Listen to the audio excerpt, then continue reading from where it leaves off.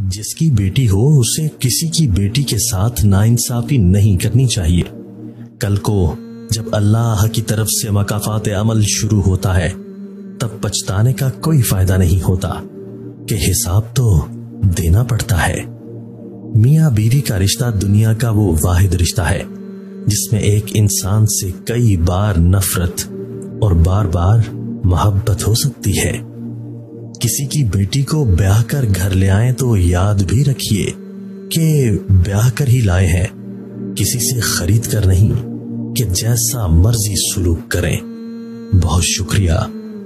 जो आदमी अपनी बीवी की इज़्ज़त अपने खानदान में ना करवा सके, वो आदमी बेकार है, क्योंकि बीवी को रोटी, घर, प्यार, मोहब्बत के अलावा इज़्ज़त भी चाहिए।